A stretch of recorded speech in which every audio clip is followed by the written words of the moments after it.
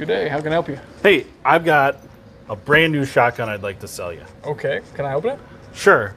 Uh, it's brand new though. Okay. It's never been fired. Okay. So Yep. brand new, never fired. I won it in a gun raffle. It's never been fired. Do you really have to open it? Yeah, I gotta see what I'm dealing with. Are you sure? Yeah. Okay. All right, here we go. Brand new, never fired, huh?